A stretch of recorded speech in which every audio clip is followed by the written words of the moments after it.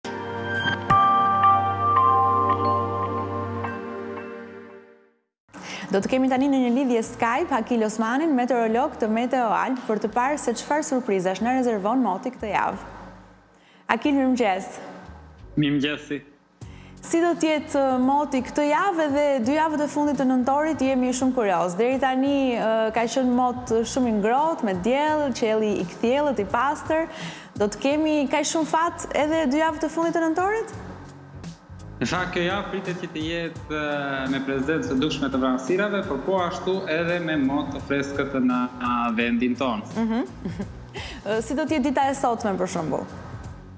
Dita e sotme do mbetet me alternime kthjellimesh dhe vranësirash të pakta, ku në po. zonat veriore të territorit shqiptar ato do të ketë Dhe prezencë do të sjellë dhe prezencë të reshjeve të pakta si në zonat në skajin verior të territorit shqiptar, por po ashtu dhe në zonat jugperëndimore do të kemi reshje të izoluara dhe në sasi shumë të pakët.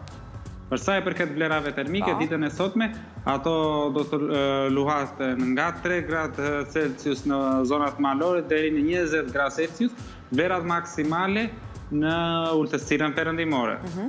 Po për ditën e nesërme? Dita e nesërme sjell një fuqizim të një sistemi vranësirash në vendin tonë duke bërë që të kemi dhe prezencë të pakët të reshjeve të shiut në pothuajse gjithë vendin tonë. Kjo do të sjellë dhe një rënie të vlerave termike, duke bërë që maksimumet pritet të shkojnë të zbresin në vlerat tetëmbëdhjetë gradë Celsius në zonat bregdetare të territorit shqiptar. Po. Të mërkurën?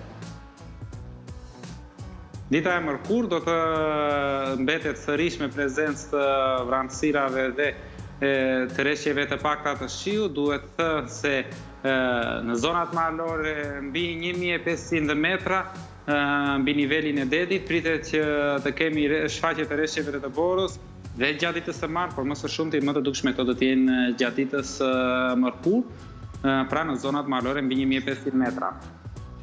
Po pra, dhe unë doja të të pyesja, në fakt, të kisha lënë pyetjen për në fund të bisedës që kur do të kemi reshjet e borës. Po për të enjten, Akil? E enjtja sjell një përmirësim të kushteve të motit, përmirësim i cili do të vijojë edhe gjatë ditës së premte, duke bërë që të kemi, por po ashtu do të kemi një rënie të vlerave termike, pra vijon rënia e lehtë dhe graduale e vlerave termike si gjatë ditës së enjte dhe gjatë ditës së premte, duke bërë që vlerat minimale të zbresin në vlerat një deri në dy gradë Celsius gjatë ditës së enjte dhe të premte, ndërsa maksimumet luhaten në vlerat shtatëmbëdhjetë apo tetëmbëdhjetë gradë gjatë ditës së enjte dhe gjatë ditës së premte. Të premten do të kemi përmirësim apo vazhdojnë reshjet edhe vranësirat?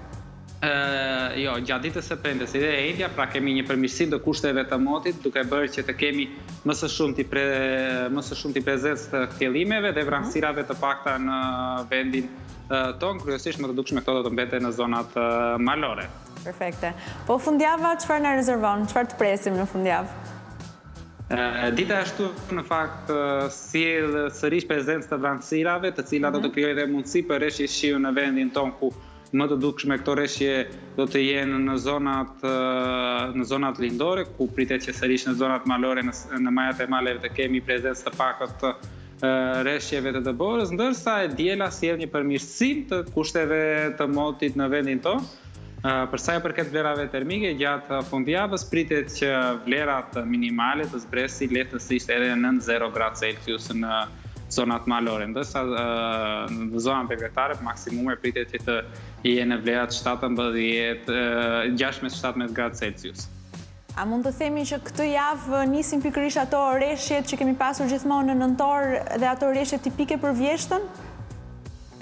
Në fakt, reshjet të cilat do të përjetojmë gjatë kësaj jave janë reshje të pakta në sasi pra nuk është se do të kemi reshje të cilat do të jenë të konsiderueshme duke mhm. bërë që dhe këto reshje mund të mos quhen le të themi tipike për sa i përket muajit nëntor, pasi reshjet gjatë muajit nëntor duhet të jenë në sasi më të konsiderueshme dhe më prezente në vendin tonë. Ndërsa ne le të them ky është episodi i dytë me reshje të cilat po përjetojmë gjatë muajit nëntor, pra kemi një nëntor të pazakontë për sa i përket reshjeve të shiut, pasi ato janë shumë pak prezente në vendin tonë. A mund të na zbulosh nëse gjatë deri në fund të nëntorit do të shtohen reshjet apo do të vazhdojmë të shijojmë ditët me diell?